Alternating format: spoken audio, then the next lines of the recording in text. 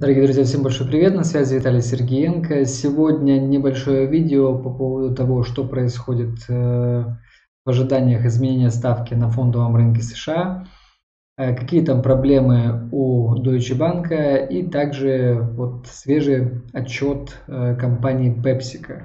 Поэтому сегодня будет очень интересное видео. Поехали! Итак, давайте перейдем непосредственно демонстрации экрана и посмотрим э, следующее.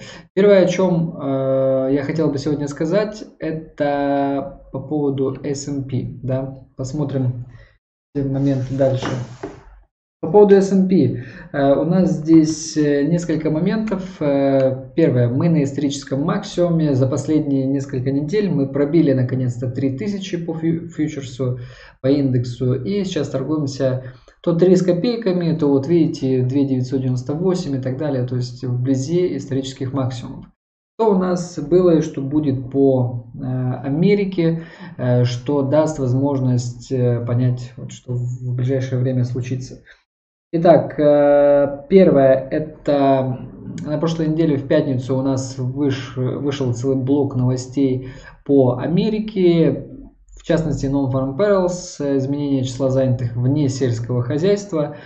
И здесь э, были совсем небольшие значения э, предыдущие, да, там 72, ожидали 160, в итоге вышло 224, то есть даже больше 200 тысяч по ключевого уровня. То есть э, это большой плюс и говорит, что в экономике Штатах Штатов все достаточно неплохо и даже наоборот очень хорошо. Э, уровень безработицы всего 3,7%. Да, прогнозировали 3,6, но и 3,7 это э, такой локальный исторический минимум по безработице. Такое последний раз было там в лохматом году, в каком-то чуть ли не э, во времена во времена там Вьетнамской войны и так далее. Да? Поэтому, видите, мы на историческом э, минимуме, и в плане безработицы у Соединенных Штатов все, надо признаться, очень-очень даже хорошо. Э, в той же Европе безработица намного выше, там более 5%. Э, соответственно, э, что еще из такого интересного? Э, большинство экономических показателей ВВП, там производство, услуги у штатов все на высоких уровнях подрастает, и там нет признаков какой-то рецессии, кризиса или еще чего-то. Далее это в принципе, ФРС все ждут, что случится с ставкой, потому что на последнем заседании нам закинули удочку, что, скорее всего, ставка будет снижаться. Вот фьючерс по ставке на э, ФРС сейчас, видите, дают уже 100% за снижение ставки на 0,25. Рынок к этому готовится, рынок, э, соответственно, растет на снижение этой ставки. То есть здесь, в принципе, все Э, все достаточно неплохо, все на позитиве таком. Но посмотрим, вот Пауэлл э, сегодня-завтра буквально выступает, и интересно, что он скажет, э, даст ли намек на все-таки стопроцентное снижение ставки, либо скажет, нет, друзья, смотрите на фармы, какие у нас, какая у нас безработица, какие, какой ВВП, к чему мы будем сейчас ставку снижать, давайте ее оставим на прежнем уровне или там через пару заседаний повысим, тогда вот в таком э, ключе может произойти пролив по S&P и э, инвесторы немножечко при, припугнутся, напугаются. И S&P у нас может слететь вот э, сначала на уровень 2950 ближайший, да, и потом, э, в принципе, ну, ничего не застраховано от 2800, то есть э, снижение где-то на 8-10% при таком сценарии, если отменят понижение процентных ставок и скажут наоборот, что оставим и через пару заседаний повысим, я думаю, что мы увидим вот э, либо так, либо так, э, и потом уже нужно смотреть, да, что происходит. Во всех остальных сценариях, в принципе, если Пауэлл говорит, да, окей, мы будем снижать плавно на там, полпроцента, то, скорее всего, в ближайшее время мы вот увидим э, движение вверх. Да, может быть, там уже только фантазия ограничен рост 3050-3100, то есть это вполне реальные сценарии. Поэтому точно так же мы отрабатываем на биржевых фондах, допустим, VIO, да, э, биржевой фонд на S&P. Здесь варианты для коррекции где-то 265-267, э, либо ниже на 255-254, куда-то вот в эту область. Э, вот. И если вдруг чего, если вдруг чего, то может, конечно, ниже уйти, но если ставка будет э, все-таки снижаться, то мы увидим небольшую коррекцию и рост э, в сторону севера, скажем так. Так, поехали дальше. Что у нас э, дальше? Ну, давайте немножечко такого негатива подкинем, а то везде позитив. Экономика растет, ставки снижаются, рынок растет. Прилетела такая новость по поводу Deutsche Bank, одного из крупнейших Э, таких важнейших структурных банков, в принципе, в мире, в Европе, э, о том, что банк находится сейчас в кризисе, и они вынуждены сокращать расходы, потому что расходы последние годы очень сильно интенсивно росли, а, а доходы, выручка, наоборот, снижалась, и вот банк э, поддавили вот в такой дисбаланс, который привел к проблемам а, в этом крупнейшем банке. Они решили изменить свою бизнес-модель. Что включает изменение этой бизнес-модели? Первое.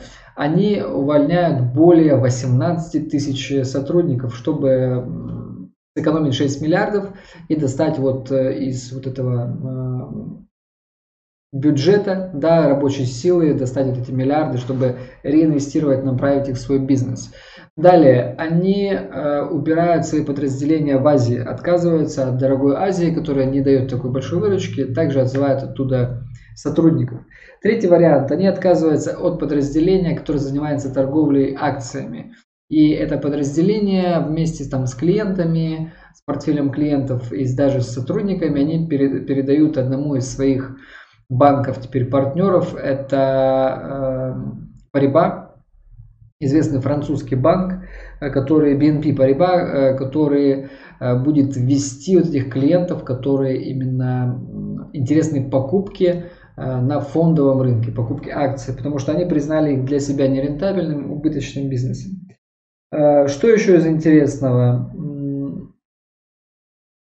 компании огромная дыра в бюджете, у них там долги по собственным обязательствам больше 37 миллиардов э, долларов, э, собственные средства снижаются, дивиденды, которые были на уровне полутора процентов, э, сказали, что будут урезать, срезать, и до конца 2019 и 2020 году не планируется вы, выдавать дивиденды, да, выплачивать. И это все, вот то, что я вам говорю, это огромные-огромные минусы, огромные негативы один на, на одном. Да. Единственный позитив, что сказали, что вот эта трансформация займет 3 года примерно, к 2022 году будут изменения. Сократим расходы, оптимизируемся, запустим новые сервисы, у нас все будет хорошо и здорово.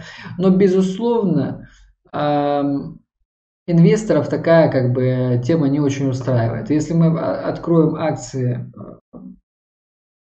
Deutsche Bank, смотрите, то вы прекрасно теперь видите вот та батарея новостей, которую я вам э, сказал, и до этого, что здесь был большой негатив, и уже несколько лет банк находится в кризисе. И мы видим такое серьезное снижение с 2017 года Э, акции стоили в районе 20 евро, и сейчас они стоят 7. То есть э, падение там, на 70% это очень серьезный удар, да, и мы видим, что инвесторы, фонды э, не поддерживают э, как бы, вот, политику банка и в ближайшее время, скорее всего, исходя из того, что я выше сказал, да, большое количество батареи негатива, вы видите, как рынок реагирует. Да, то есть его болтает, но вот с 8 э, и 30 евроцентов мы уже хлопнулись на 7,29. Я думаю, что здесь продолжится снижение, потому что ну, действительно тотальный, колоссальный здесь негатив. Видите, здесь ближайший уровень сопротивление где-то 8, 8,20 я бы взял. И э, я думаю, что здесь нужно работать в сторону продаж. Э, там, может быть, через э, тот же CFD, да, если шорт сделать, что, допустим, на платформе Admiral Markets, через которую мы сейчас с вами работаем, здесь именно на типе счета Admiral Invest, здесь только можно покупать э, без плеча и только лонг стратегии, да, но если вы хотите захеджировать, допустим, использовать вот такие шортовые вещи, да, вот возможности для продажи, то есть второй тип счета, э, где через также MT5 вы можете зашортить, допустим, CFD, как вариант. Кстати, ссылочка, чтобы потестить э, демо счет от Admiral Invest, в описании к этому видео, первая ссылочка, переходите, смотрите, демка абсолютно бесплатная, подключайтесь, очень интересно, буквально 500-600 долларов.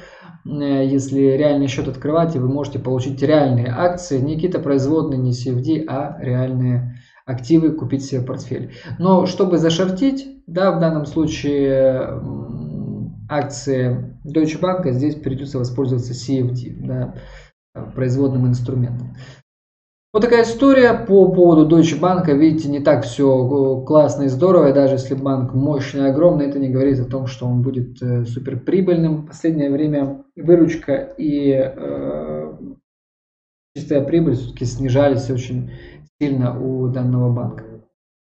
Следующая наша новость это компания Pepsi, э, точнее PepsiCo, да, потому что там не только Pepsi и 7 принадлежат этой корпорации, но также и чипсы Lay's, там, э, Cheetos и так далее, большое количество там, э, различных снеков.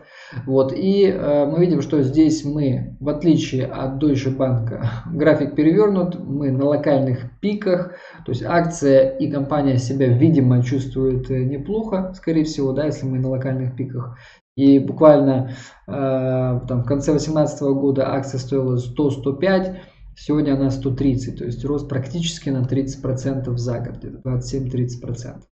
А, что касается Pepsi, у Pepsi вышел, э, почему я включил в обзор, э, вчера 9 э, июля вышел отчет по Pepsi. Мы видим, что в принципе в зеленой зоне здесь средний рост выручки где-то на 3-4% год к году. И ну, основные мультипликаторы чувствуют себя, в принципе, по PepsiCo неплохо. Эм, мне более-менее нравится PE, э, здесь P на I где-то 15, хотя по отрасли 31. Дивиденды 3%, долги снижаются в последнее время, собственный капитал растет. То есть большинство мультипликаторов у компании неплохие.